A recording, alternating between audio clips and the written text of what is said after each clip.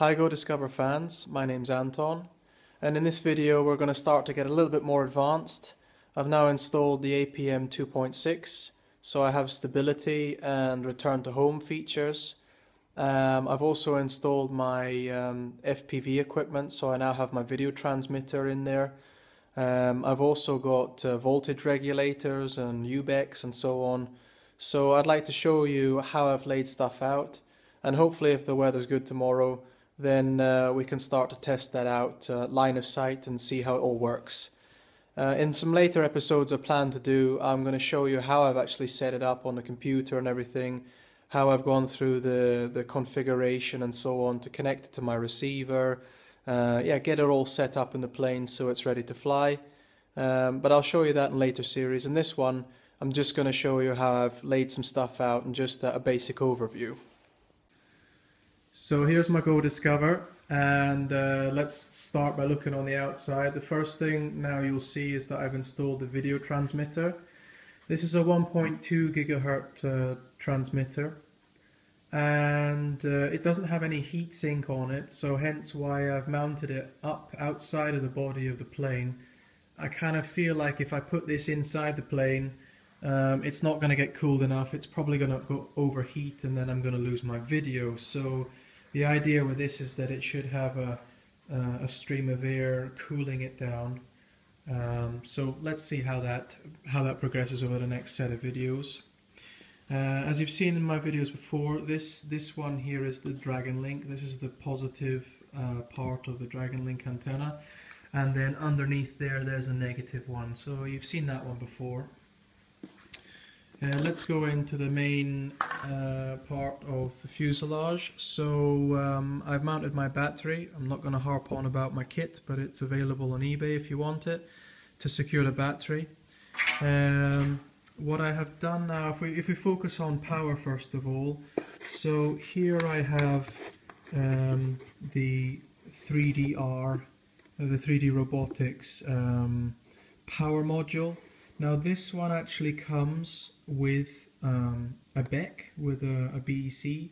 So that's going to provide 5 volts in, let me see if I can get it now. Uh, this cable with many many wires, the black cable here with one red. Uh, that's going to provide uh, 5 volts of power to power the, the APM board.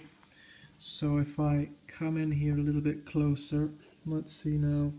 So this connector here, uh, it's the one that's going to go into the PM port at the back. So this cable here, that's what's going to power the APM uh, board. And the way I've decided to do it is not to put in jumper one, and jumper one's around about uh, in here somewhere. Yeah, I've not installed jumper one. So this power module um, through this multi well, number of wires. I think it's about five or uh, six wires. I think five or six wires anyway. That's that's powering this side of the board here. Um, so the analog, the the input, um, and also the GPS and the compass. Um, now in the instructions for the APM board, it says that you shouldn't power any servos on, on, on this side of the board using the power module. I think it's only something like 2.25 amps or, or whatever that that can actually draw. So you don't want to be powering all your servos um, from this power module. So because jumper 1 is not installed, then I have um, uh, a 5, 5 volt BEC coming in uh, on the throttle channel. You'll see that in one of my other videos. Uh, so that's on channel 3 and that's powering the output rails of the board. Uh, and then uh, all the servos, the, the, the Elevon servos out on the wings and also the servos to, uh, to uh, move the gimbal, they're also powered from, uh, from that part of the board. Um, right, so then let's go over to this side here. I've mounted my my GPS uh, receiver. And this one also has um, an inbuilt um, oof, compass. Yeah. So the smaller the the the what would, it be? The the grey and the green wire that's actually for the compass. So that's going back down here towards uh, I think it's what's it called? I2C connector there. Uh, just two cables on that one uh, because this one because it's an integrated board it's getting its 5 volts from the red here and the ground from here uh, so then, then the GPS connector is connected there and going into the same unit. Um, now I did, I did think it was quite odd uh, with this unit that the writing is at the front like this. If I look at how I've mounted it in the plane here, uh, you would think that as you look in from the front that you would not read the writing, but anyway. Um, I mounted it like this and, and that means that uh, uh, it's pointing in the right direction for the compass. So I mounted up there. Then I have installed the Minim OSD here. Uh, this uh, black and red wire here, that's coming from a 12 volt regulator in the in the back. I'll show you that in a minute. Uh, so that's powering, that's supplying 12 volts to the input channel. And what I have done here is that then you see this black and white wire. Black is video ground and white is video.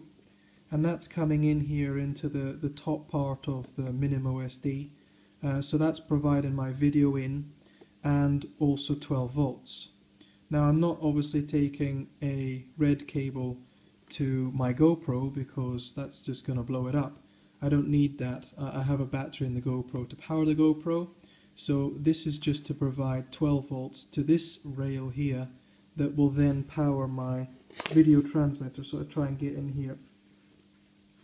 So the video transmitter, uh, this one only comes with four cables.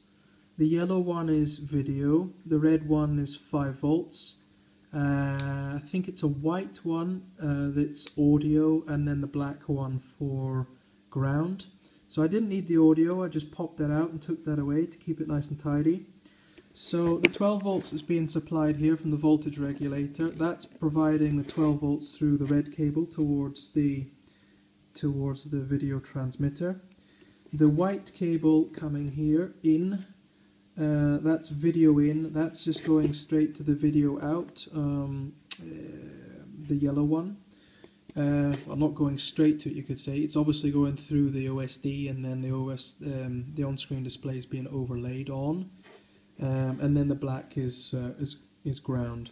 Now you needed to have a shared ground between power and video, so when I created this top connector, all I did was I took the ground from the video and the ground from the 12 volt regulator and put them in the same connector. So I made that myself.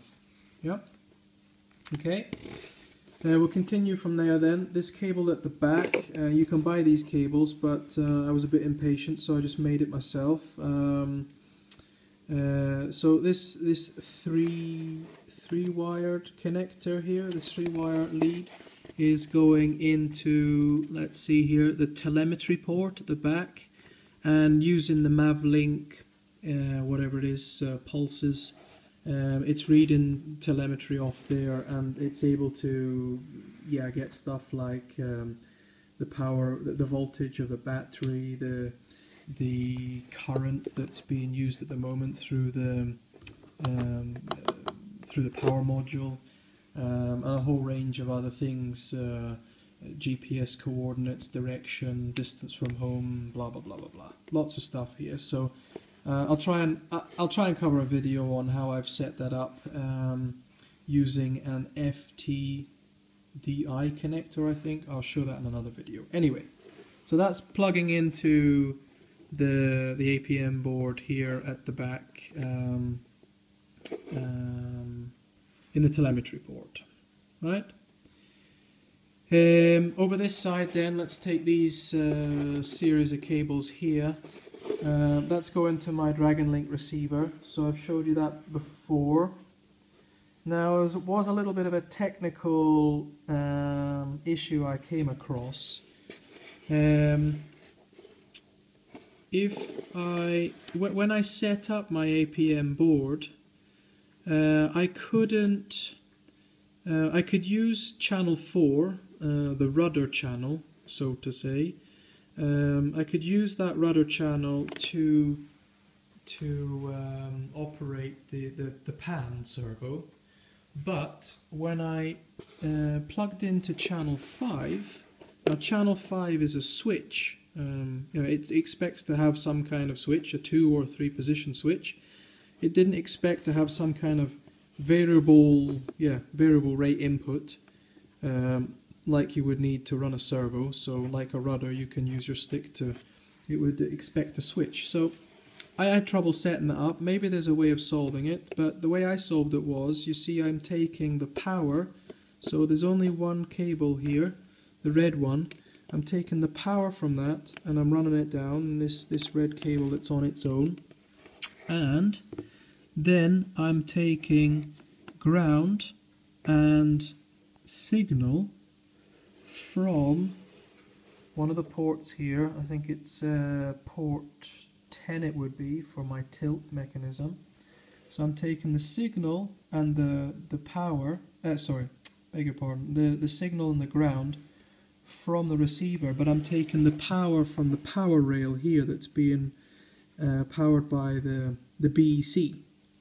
So, as I said in the earlier part of this video, I'm powering all the servos from this rail, but I, I need to have the signal uh, coming from my receiver, not the power coming from my receiver. Uh, I probably could get away with it, but it's not recommended, uh, so I just did it like this. And then it comes into um, a female uh, servo connector, and then the, the cables run underneath the battery tray towards the, the tilt uh, servo. So that's how I've solved it. It was a bit of a bit of a hassle. Um, I'll continue now then towards the back of the, the plane. I think I covered everything here in the front. Uh, so the power module, um, I've got two uh, thicker wires here going towards the ESC to be able to cope with the current uh, from uh, to, to, power that kind of stuff. So let's go around the back now. Um, oops. Let's pull this a little bit closer. Um, so now we're going to go into the back bay here and I'll show you what I've done. Uh, first of all, let me see, here I've, I've put in some uh, servo extension cables and I've labeled them L for left wing and R for right wing.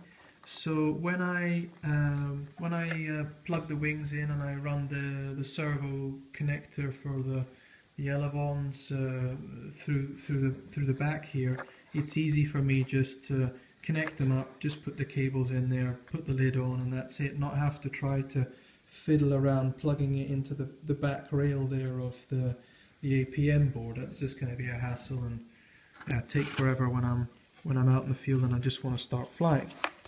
So I try and get these guys out of the way so we can see what's going on in here. Now first of all, there's um, not really getting them out of the way, but never mind. Uh, first of all, there's there's um, a wall of foam here.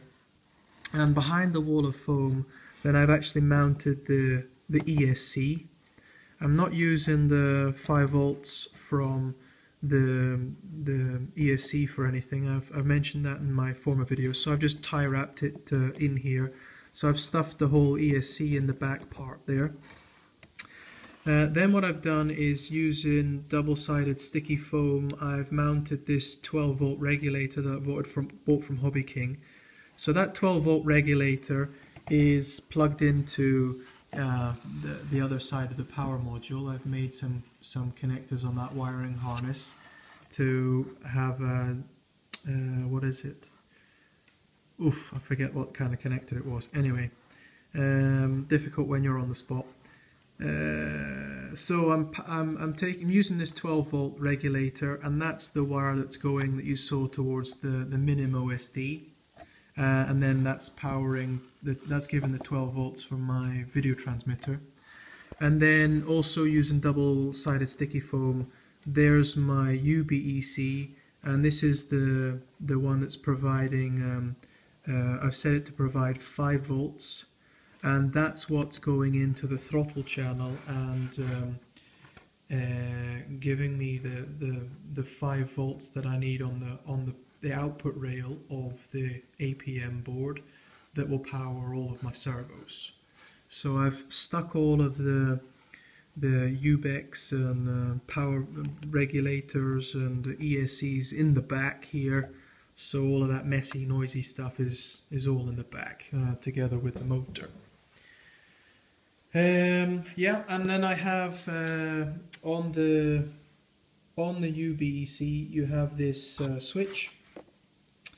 Um, so when I go to pick up uh, pick up the Go Discover after I've finished flying it and so on, what I can do is just pop off the hatch, switch this off, and then I know the the the motor's safe. Um, there's no there's not going to be anything. Uh, um, no signals possible to go to the motor to start to spin. So then it's safe for me to walk back until I've unplugged the battery. Um, yeah. Uh, I think that's it guys. Uh, hope this was useful. Uh, give us a thumbs up if it, if it is. Give us some comments. Uh, let me know if you've got any questions. I, I hope I've covered a lot of the questions I've I've had so far from you lot um, but as I say just uh, if I can help out just uh, just let me know. Cheers.